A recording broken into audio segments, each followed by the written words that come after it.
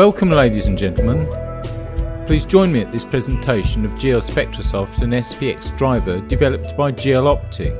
GL SpectroSoft Basic Functions GL SpectroSoft is an analytical software package for advanced spectral analysis, also helping to analyze measurement results. SPX driver is the control software and it is run first after the spectrometer has been connected to the computer. This program also runs in the background and controls the spectrometer. When it has been connected, it is displayed at the bottom bar. The message device number connected appears. SPX driver application helps to make the measurements, but it only displays raw data, the spectrum and raw measurement data, the so-called native data. Next we connect HASP key to a free USB port and then the spectrometer is connected to the computer by means of a USB cable. And then GL SpectroSoft, the analytical part of the software, is run. This program is used to make measurements and analyze results. Let's have a closer look at the program. The interface is divided into a standard window, in which measurements are displayed in a graphic form, and an auxiliary window which displays measurement results in a table and charts which also present the results in different standards. GL Spectrosoft calculates and presents, among others, the following values. CIE compatible colour coordinates, CCT correlated colour temperature, colour peak, colour dominant, CRI colour rendering index, MI metamerism index, and others. Spectrometers provided by GL Optic are always spectrally calibrated and they display absolute values for individual parameters.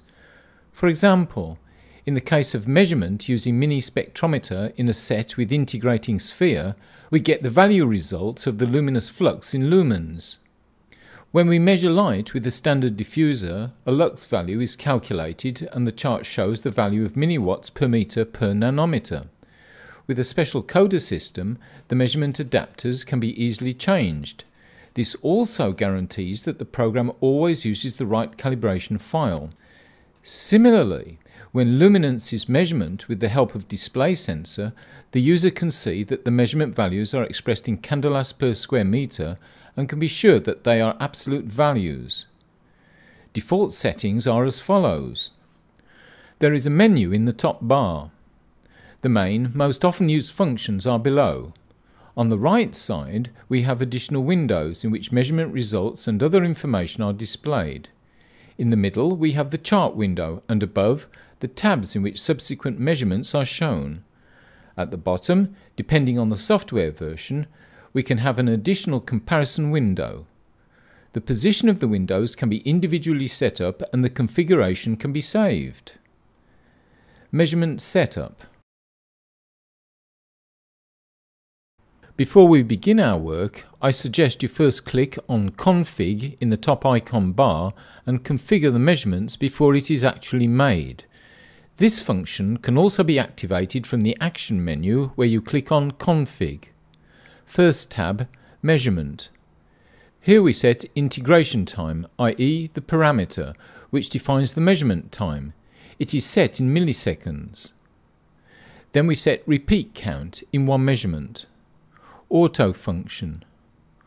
Automatic selection of the integration time is a very useful function. When the auto function is used, the spectrometer automatically selects integration time depending on the signal level. It can, additionally, set the maximum integrated time so that the measurement does not take too long. We set flicker frequency. It must be adjusted to the type of light source and illumination installation. Second tab, Range. It is the spectral range in which we measure. By default, the mini spectrometer measures in the range of 340 to 750 nanometer, but the range can be reduced in the case of measurements of particular light sources. Measurements. Measurements are made when the Measure button is clicked, space is pressed on the keyboard, a button on the spectrometer is pressed. The result in the graphic form is automatically displayed in a new tab, while in the auxiliary windows a table with the data is displayed. Additionally, we can see the results on the CIE color chart. The GL Optic devices come complete with different measurement adapters which can be used depending on our needs. We suggest measurement of illumination using diffuser, measurement of luminous flux with integrating sphere, measurement of luminance using display sensor. If you have any question, we'll be more than glad to answer them. Also, please visit our website www.gloptic.com.